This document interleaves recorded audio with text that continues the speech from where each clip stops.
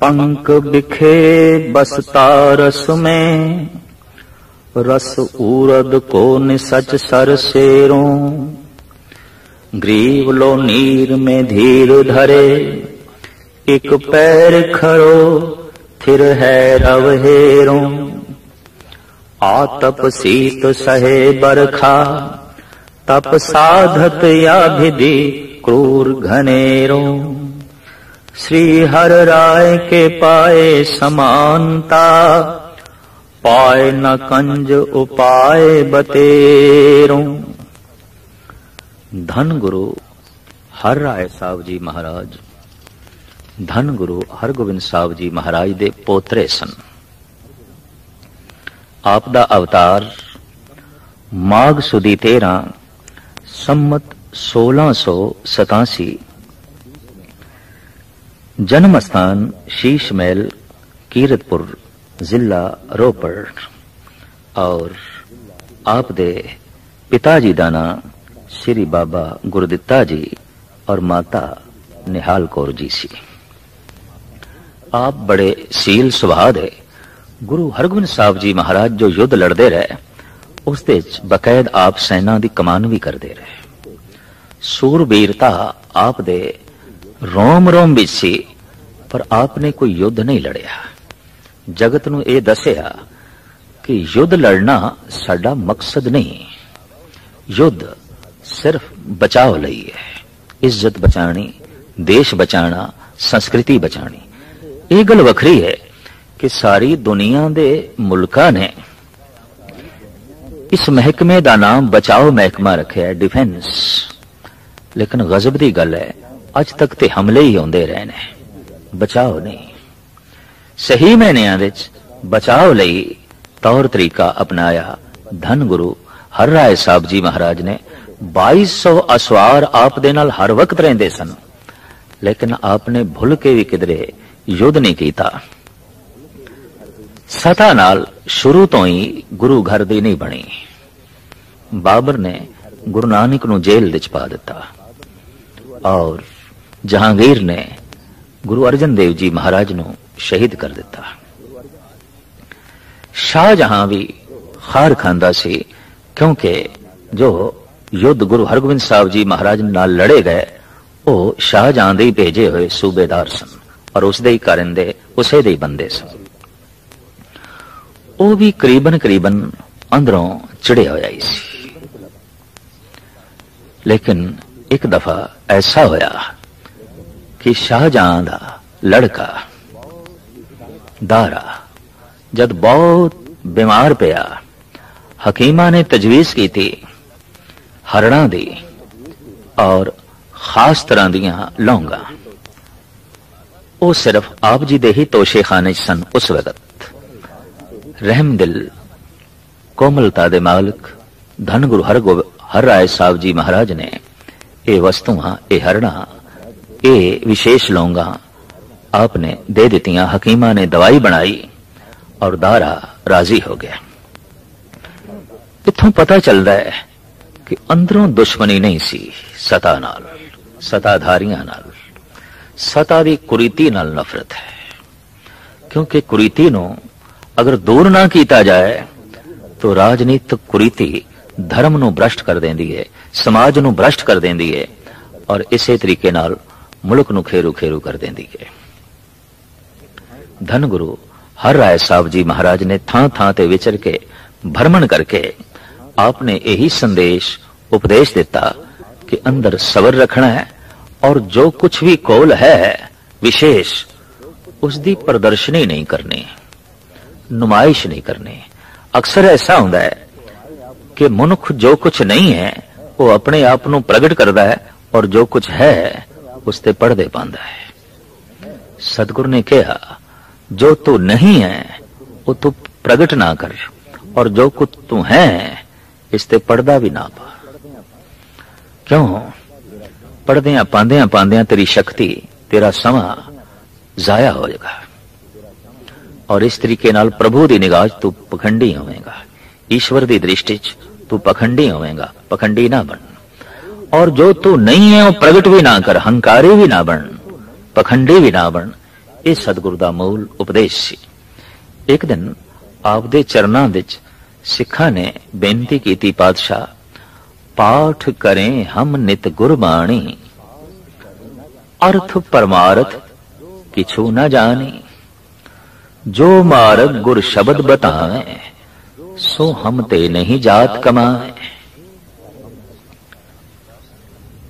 ਸਾਹਿਬ, ਅਸੀਂ ਅਰਥ ਬਹੁਤ ਤੇ ਜਾਣਦੇ ਨਹੀਂ ਸਿਰਫ ਗੁਰਬਾਣੀ ਪੜ੍ਹੀ ਜਾਂਦੇ ਆ ਪੜ੍ਹੀ ਜਾਂਦੇ ਆ ਇਹਦੇ ਨਾਲ ਸਾਨੂੰ ਕੀ ਲਾਭ ਹੋਵੇਗਾ? ਤਾਂ ਆਪ ਉਸ ਵਕਤ ਚੁੱਪ ਰਹਿ ਗਏ। ਪ੍ਰਸ਼ਨ ਕਰਤਾ ਨੇ, ਇਹ ਸੋਚ ਲਿਆ, ਸ਼ਾਇਦ ਸਤਗੁਰ ਜਵਾਬ ਨਹੀਂ ਦੇਣਾ ਚਾਹੁੰਦੇ। ਜਾਂ ਜਵਾਬ ਹੈ ਹੀ ਨਹੀਂ।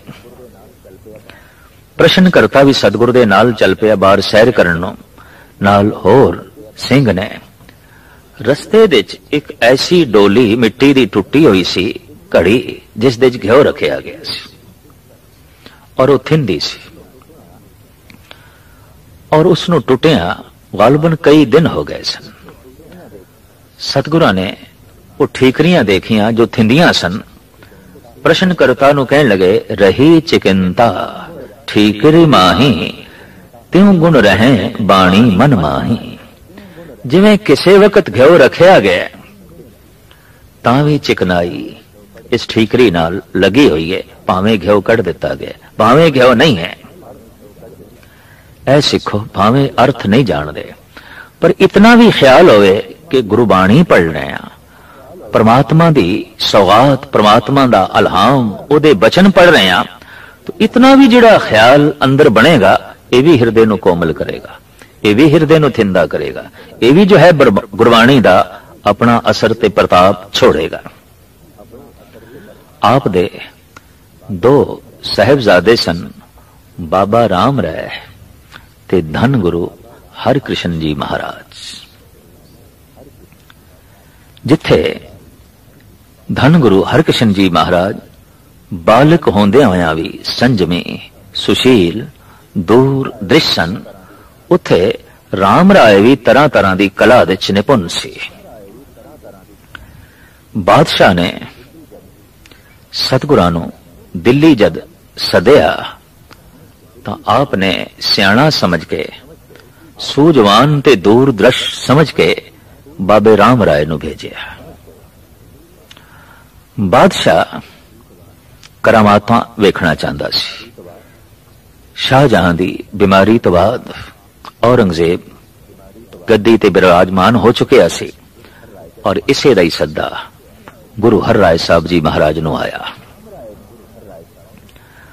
ਰਾਮ ਰਾਏ ਨੂੰ ਔਰੰਗਜ਼ੇਬ ਨੇ ਆਖਿਆ, ਕੁਝ ਕਰਾਮਾਤਾਂ ਦਿਖਾ। ਗੁਰੂ ਨਾਨਕ ਦੇ ਘਰ ਦੀਆਂ ਕਰਾਮਾਤਾਂ ਕੀ ਨੇ? ਬੜੀ ਸੁਣੀ ਹੈ ਗੱਲ ਗੁਰੂ ਨਾਨਕ ਦੀ। ਬਹੁਤ ਵੱਡੀ ਮਹਿਮਾ ਸੁਣੀ ਹੈ ਗੁਰੂ ਅਰਜਨ ਦੇਵ ਜੀ ਦੀ। ਤੋ ਕੁਝ ਕਰਾਮਾਤਾਂ ਦੱਸੋ। ਕਹਿੰਦੇ ਨੇ, ਸ਼ਾਹੀ ਰੋਗ ਦਾਵ ਦੇ ਅਧੀਨ ਬਾਬਾ ਰਾਮ ਰਾਏ ਹੋ ਗਏ ਔਰ ਇਹਨਾਂ ਨੇ ਨਾਮ ਸਿਮਰ ਕੇ ਬੰਦਗੀ ਕਰਕੇ ਤੇ ਸਤਿਗੁਰੂ ਦੀ ਹਜ਼ੂਰੀ ਦੇ ਚ ਰਹਿ ਕੇ ਜੋ ਸ਼ਕਤੀਆਂ ਪ੍ਰਾਪਤ ਕੀਤੀਆਂ ਸਨ, ਕਰਾਮਾਤਾਂ ਦੇ ਰੂਪ ਵਿੱਚ ਦਿਖਾਣੀਆਂ ਸ਼ੁਰੂ ਕੀਤੀਆਂ।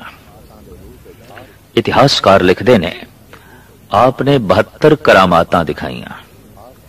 ਔਰੰਗਜ਼ੇਬ ਦੇ ਮਨ ਤੇ ਬਹੁਤ ਵੱਡਾ ਪ੍ਰਭਾਵ ਪਿਆ ਔਰ ਉਹਨੇ ਸਭਾ ਵਿੱਚ ਬਕਾਇਦਾ ਬੈਠਣ ਲਈ ਇੱਕ ਕੁਰਸੀ ਵੀ ਦਿੱਤੀ। ਲੇਕਿਨ ਮਨ ਵਿੱਚ ਇੱਕ ਈਰਖਾ ਰੱਖਦਾ ਸੀ ਕਿ ਇਹ ਸ਼ਕਤੀਆਂ ਕਿਧਰੇ ਮੇਰੀ ਰਾਜ ਸਤਾ ਲਈ ਖਤਰਾ ਨਾ ਹੋ ਜਾਣ। ਇਹ ਸ਼ਕਤੀਆਂ ਕਿਧਰੇ ਗੁਰੂ ਅਰਜਨ ਦੇਵ ਜੀ ਮਹਾਰਾਜ ਦਾ ਬਦਲਾ ਨਾ ਲੈਣ, ਗੁਰੂ ਹਰਗੋਬਿੰਦ ਸਾਹਿਬ ਜੀ ਮਹਾਰਾਜ ਦਾ ਬਦਲਾ ਨਾ ਲੈਣ, ਕਿਉਂਕਿ ਗੁਰੂ ਅਰਜਨ ਦੇਵ ਜੀ ਮਹਾਰਾਜ ਨੂੰ ਸ਼ਹੀਦ ਕੀਤਾ ਗਿਆ ਤੇ ਗੁਰੂ ਹਰਗੋਬਿੰਦ ਸਾਹਿਬ ਜੀ ਮਹਾਰਾਜ ਨੂੰ ਜੇਲ੍ਹ ਵਿੱਚ ਪਾਇਆ ਗਿਆ ਇਹ ਈਰਖਾ ਵੀ ਰੱਖਦਾ ਸੀ ਇੱਕ ਦਿਨ ਔਰੰਗਜ਼ੇਬ ਨੇ ਬਾਬੇ ਰਾਮ ਰਾਏ ਨੂੰ ਆਖਿਆ ਕਿ ਗੁਰੂ ਗ੍ਰੰਥ ਸਾਹਿਬ ਜੀ ਮਹਾਰਾਜ ਦੇ ਵਿੱਚ ਕੁਝ ਤੋਹੀਨ ਆਮੀਜ਼ ਅਲਫਾਜ਼ ਨੇ जैसे कि मिट्टी मुसलमान की पेड़े पई कुम्हार एकदम ਰਾਜਨੀਤਿਕ ਰੋਬ ਦੇ ਥੱਲੇ ਆ ਕੇ ਭੈਭੀਤ ਹੋ ਕੇ ਰਾਮ ਰਾਏ ਨੇ ਕਹਿ ਦਿੱਤਾ ਬਾਦਸ਼ਾਹ ਸਲਾਮਤ ਮਿੱਟੀ ਮੁਸਲਮਾਨ ਕੀ ਨਹੀਂ ਹੈ ਮਿੱਟੀ ਬੇਈਮਾਨ ਕੀ ਪੇੜੇ ਪਈ ਕੁਮਿਆਰ ਇਹ ਬੋਲ ਜਦ ਧਨ ਗੁਰੂ ਹਰ ਰਾਏ ਸਾਹਿਬ ਤੱਕ ਪਹੁੰਚੇ ਤਾਂ ਆਪ ਨੇ ਮੂੰਹ ਲਾਣ ਤੋਂ ਇਨਕਾਰ ਕਰ ਦਿੱਤਾ ਤੇ ਸਿੱਖ ਸੰਗਤਾਂ ਨੂੰ ਵੀ ਹੁਕਮਨਾਮੇ ਭੇਜ ਦਿੱਤੇ ਰਾਮ ਰਾਏ ਨੂੰ ਕੋਈ ਮੂੰਹ ਨਾ ਲਾਵੇ ਇਸ ਨੇ ਗੁਰੂ ਨਾਨਕ ਦੀ ਬਾਣੀ ਨੂੰ ਬਦਲਿਆ ਉਹਦੀ ਰੂਪ ਰੇਖਾ ਨੂੰ ਬਦਲਿਆ ਉਹਦੇ ਅਰਥ, ਭਾਵ ਨੂੰ ਬਦਲਿਆ ਔਰ ਇਹ ਰਾਜਨੀਤੀ ਦੇ ਰੋਬ ਥੱਲੇ ਆ ਗਿਆ ਉਹ ਫਕੀਰ ਨਹੀਂ, ਜੋ ਰਾਜਨੀਤਿਕ ਰੋਬ ਦੇ ਥੱਲੇ ਆ ਗਿਆ ਫਕੀਰ ਤੇ ਉਹ ਹੈ, ਜਿਹਦੇ ਜ਼ੇਰ ਅਸਰ ਰਾਜਨੀਤੀ ਚਲੇ। ਫਕੀਰ ਉਹ ਨਹੀਂ, ਜੋ ਰਾਜਨੀਤੀ ਦੇ ਜ਼ੇਰ ਅਸਰ ਹੋ ਜਾਏ। ਇਹ ਠੀਕ ਹੈ ਕਿ ਸਤਾ ਆਪਣੇ ਆਪ ਦੇ ਵਿੱਚ ਬੜੀ ਪ੍ਰਬਲ ਸ਼ਕਤੀ ਹੈ। ਪਰ ਉਸ ਵਿੱਚ ਧਰਮ ਨਾ ਹੋਵੇ, ਧਰਮ ਤੋਂ ਮੁਰਾਦ ਪਿਆਰ ਨਾ ਹੋਵੇ, ਸਚਾਈ ਨਾ ਹੋਵੇ, ਨਿਰਵੈਰਤਾ ਨਾ ਹੋਵੇ, ਇਨਸਾਫ ਨਾ ਹੋਵੇ, ਦਇਆ ਨਾ ਹੋਵੇ, ਕੋਮਲਤਾ ਨਾ ਹੋਵੇ, ਤੋ ਰਾਜਨੀਤੀ ਠੋਸ ਪੱਥਰ ਬਣ ਜਾਂਦੀ ਹੈ ਔਰ ਠੋਸ ਪੱਥਰ ਲੋਕਾਂ ਦੇ ਸਿਰ ਤੋੜਦੀ ਹੈ, ਲੋਕਾਂ ਦਾ ਕਚੂਮਰ ਕਰਦੀ ਹੈ। ਔਰ ਐਸਾ ਅੱਜ ਤੱਕ ਸਮੂਹ ਸੰਸਾਰ ਵਿੱਚ ਹੁੰਦਾ ਰਿਹਾ ਹੈ। ਗੁਰੂ ਹਰ ਰਾਏ ਸਾਹਿਬ ਜੀ ਮਹਾਰਾਜ ਨੇ ਆਖਿਰ ਇਹ ਗੱਦੀ ਧੰਨ ਗੁਰੂ ਹਰਕ੍ਰਿਸ਼ਨ ਜੀ ਮਹਾਰਾਜ ਨੂੰ ਬਖਸ਼ਿਸ਼ ਕੀਤੀ, ਜਿਨ੍ਹਾਂ ਦੀ ਆਯੂ ਸਿਰਫ 5 ਸਾਲ ਦੀ ਸੀ। ਰਾਮ ਰਾਏ ਨੂੰ ਚਿੜ ਹੋਣੀ ਕੁਦਰਤੀ ਸੀ। ਪਿਤਾ ਦੇ ਇਸ ਫੈਸਲੇ ਤੋਂ ਬਹੁਤ ਔਖੇ ਹੋਏ, ਬਹੁਤ ਔਖੇ ਹੋਏ ਵੀ ਇਹ ਮੇਰੇ ਨਾਲ ਅਨਿਆਇ ਹੋਇਆ ਇਹ ਮੇਰੇ ਨਾਲ ਦਰੋਹ ਹੋਇਆ ਔਰ ਬਕਾਇਦਾ ਗੁਰੂ ਹੋਣ ਦਾ ਦਾਵਾ ਕੀਤਾ, ਪਹਿਲੇ ਅਰਜ਼ੀ ਦਿੱਤੀ ਔਰੰਗਜ਼ੇਬ ਨੂੰ ਕਿ ਗੁਰਗੱਦੀ ਮੈਨੂੰ ਦਿਲਾਈ ਜਾਵੇ। ਹੁਣ ਕੌਣ ਦੱਸੇ RAM ਰਾਏ ਨੂੰ? ਗੁਰਗੱਦੀ ਤੇ ਪ੍ਰਭੂ ਦੀ ਤਰਫੋਂ ਮਿਲੇ ਉਹੀ ਗੱਦੀ ਆਉਂਦੀ ਹੈ ਤੇ ਜਿਸ ਗੱਦੀ ਨੂੰ ਰਾਜਾ ਦਿਲਾਵੇ, ਇੱਕ ਬਾਦਸ਼ਾਹ ਦਿਲਾਵੇ, ਉਹ ਗੱਦੀ ਧਰਮ ਦੀ ਗੱਦੀ ਨਹੀਂ ਹੋਵੇਗੀ। ਉਹ ਸੱਚ ਦਾ ਸਿੰਘਾਸਣ ਨਹੀਂ ਹੋਵੇਗਾ। ਲੇਕਿਨ ਅਰਜ਼ੀ ਦਿੱਤੀ। ਪਹਿਲੇ ਤੇ ਔਰੰਗਜ਼ੇਬ ਟਾਲਮਟੋਲ ਕਰ ਗਿਆ ਤੇ ਫਿਰ ਉਸਨੇ ਗੁਰੂ ਸ਼ਕਤੀ ਨੂੰ ਔਰ ਗੁਰਗੱਦੀ ਨੂੰ ਨੇਸ ਤੋਂ ਨਾਬੂਦ ਕਰਨ ਲਈ ਰਾਮ ਰਾਏ ਨੂੰ ਤਕਵੀਅਤ ਦੇਣੀ ਸ਼ੁਰੂ ਕੀਤੀ।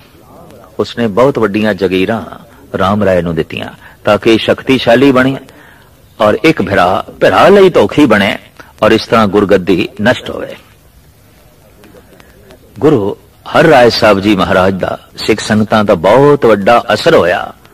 ਪੰਜਾਬ ਦੀਆਂ ਸਿੱਖ ਸੰਗਤਾਂ ਨੇ ਰਾਮ ਰਾਏ ਤੋਂ ਮੂੰਹ ਮੋੜ ਲਿਆ। ਲੇਕਿਨ ਫਿਰ ਵੀ ਬਚੀਆਂ ਕੁਚੀਆਂ ਕਰਾਮਾਤਾਂ ਦੇ ਆਸਰੇ ਤੇ ਇਹ ਭੋਲੀ ਭਾਲੇ ਜਨਤਾ ਨੂੰ, ਲੋਕਾਂ ਨੂੰ ਆਪਣੇ ਕਾਬੂ ਵਿੱਚ ਕਰਦਾ ਰਿਹਾ ਔਰ ਇਸ ਤਰੀਕੇ ਦੇ ਨਾਲ ਆਪਣੇ ਗੁਰੂ ਹੋਣ ਦਾ ਪ੍ਰਚਾਰ ਵੀ ਕਰਦਾ ਰਿਹਾ।